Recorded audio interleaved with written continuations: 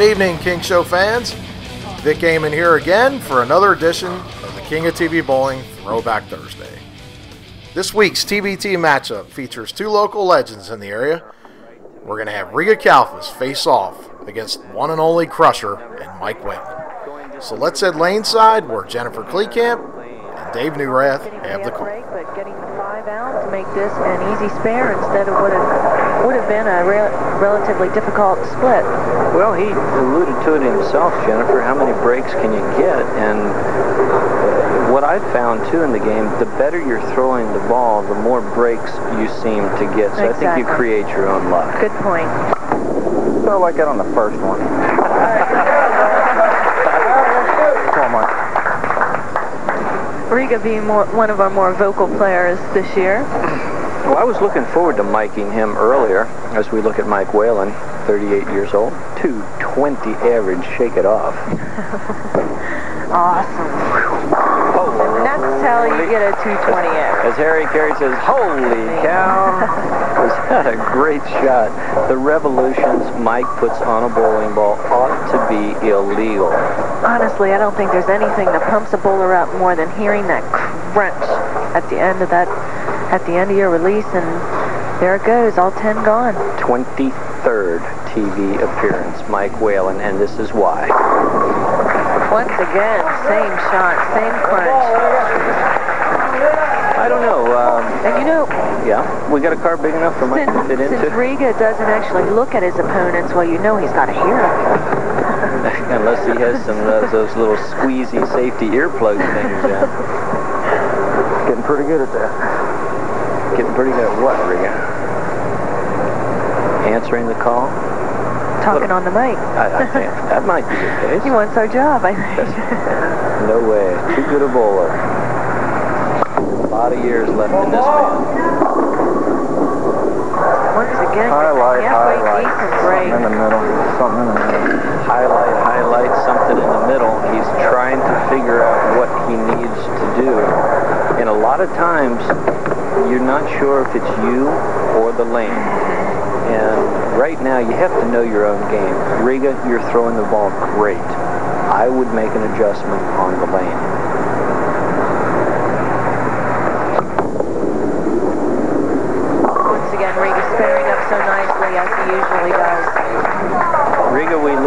53 years young. Been bowling for quite a while, and he's been on TV so many times. That, works pretty like good. He needs one of them little clicker things like you got in golf, you know, every time. How many times? Another oh, yeah. uh, 23, yeah, 222 average, 752 to get on today's show. And he bowls right here out of LaRue, as we alluded to before. You don't have to be a big guy, 155 pounds, and he can trash some pins. That time not getting the break. Well, he's been asking for it for several shots and breaking down those critical splits, now leaving the 410 and not taking very much time there. I don't... Okay, now he's settled down a little bit. This is a difficult spare going across the alley to cross the pin over. Oh, good shot. Tongue-in-cheek, good shot. Boy, Riga's about as Yeah. demoralized as I've seen him in a long time. Of course, normally he's striking with so much regularity, he doesn't have need to be demoralized, but we're going to see how Mike now. Well, Je- Jennifer, seriously, okay, we've got a 155-pound guy that's a very, very good bowler going up against uh, a Mike Whalin uh, averaging about the same, but coming in at 260 pounds. And not- of the tapes? And not, yeah, and not just knocking down pins, physically destroying pins. That, that in itself, to me, has some sort of a psychological factor, unless you're prepared to deal with it before it starts. Five foot five against six foot, 155 against 260, uh, 15 years difference in the age. It all plays into the game. Oh, now that could help Riga out slightly. That time with Mike going high. So many times, too, when you do go high, um, instead of making a move, it, it actually was you. And so just go back to where you were playing and stroke it a little better in your normal fashion. Okay, what we see is uh, Kalfas is 33 pins, by 33, not out of it, very young in the match. Mike Whalin looking at the overhead scoreboard and our overhead monitors, which is also showing the broadcast of the show. A nice feature here with the automatic scores. Brunswick has done a fine job at Riga once again going Once you get down a little low, so you can drill it into the floor. I can see. Okay, he mentioned something at that point. Drill it into the floor. He's dropped he's dropped his shoulder several times right there. See now, see the ball hit behind the line and then bounce over it. If we could see that again at some point later in the match, we'll show you that that is not what you want to do. Because Using it, his leverage of his knee bend. exactly, oh. exactly. Because the minute that ball hits behind the line, your hand is out of position. You cannot lift the ball out of the lane, obviously, because you're already done. And the ball is going to go anywhere, and wherever it goes, it's not going to hit. Riga starting at the age of eight, and I've seen a lot of interest in the, in the youth bowlers uh, wanting to be good, and I think we have a lot of good role models out there that's making that so, and the, and the BPA has a fine traveling league for juniors that's a very good experience if you want to get your child involved. That's the kind of ball he would throw to register 12 300 games to his credit. This is how you do it. Stay down, roll through the ball. Wow, what a clean roll. One-two pocket filled up, 10 out of here. Mike Whalin, right-hand lane, maintaining a 44-pin lead at this point, halfway through the match. One more for Mike, I coming off a spare. I, I, I really don't see how he's going to be beat today unless the wheels completely fall off. And Mike is uh, going to be traveling upstate to uh, do a little bowling. He does a lot of that. As a matter of fact, he's going to be catching a plane just a few minutes from now. So uh, maybe he's striking to try to save time, Jen. yeah, one more.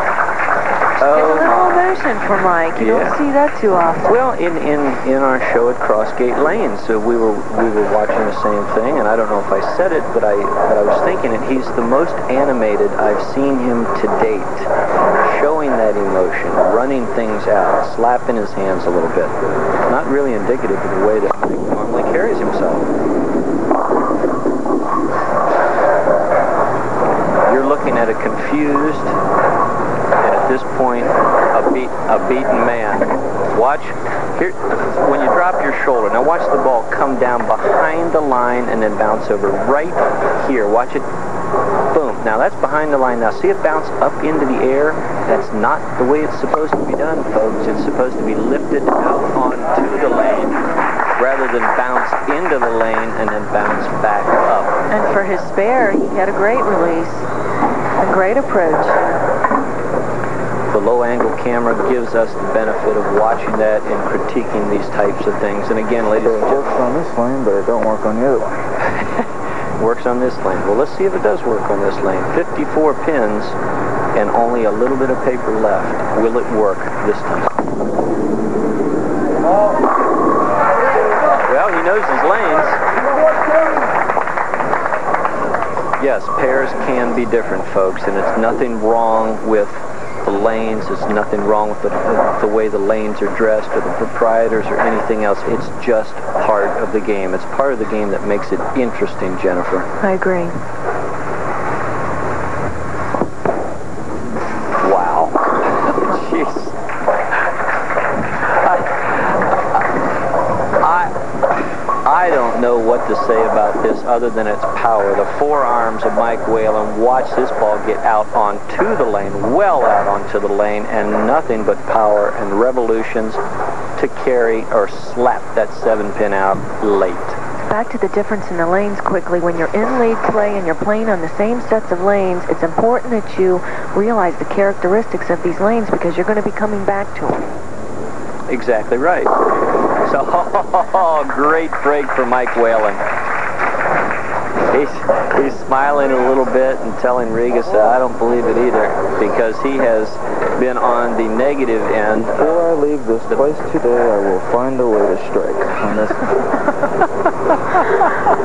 Riga's being uh, interacting some humor on us too. Well, it's a challenge now. He knows he's lost the match. He just wants to try to figure something out to strike. Well, that's as close as he's been in a while. At least you found a way to hit the pocket, Riga. That's half the battle. And knowing that the match is, is well out of reach, being the player that he is, go up and try to make the spare. And, uh, Look at this. Yay!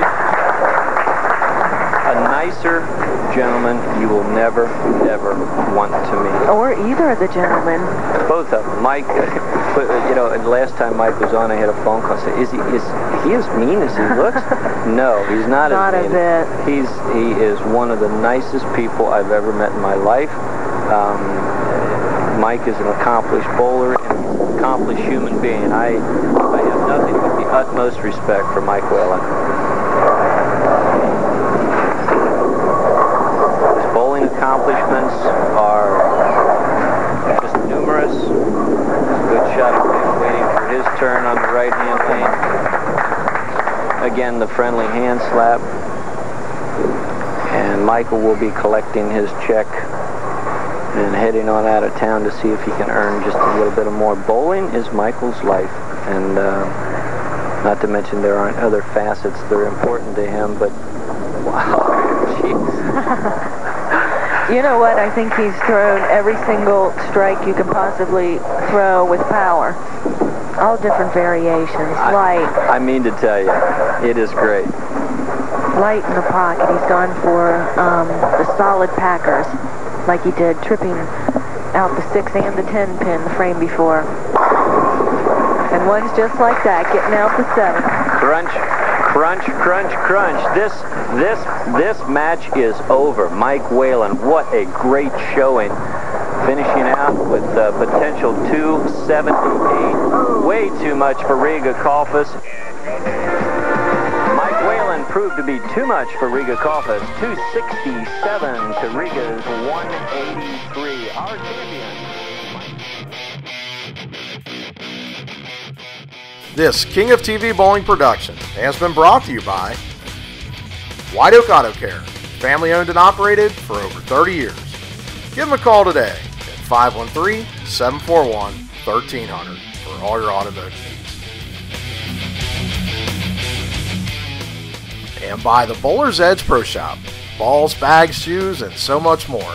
Check out the Bowler's Edge Pro Shop at Gilmore Lanes. Folks, you can check out all this great action on Twitter, Facebook, and YouTube.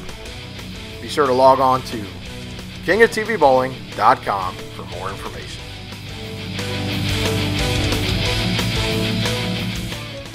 We'll see you next time on the lanes. Take care.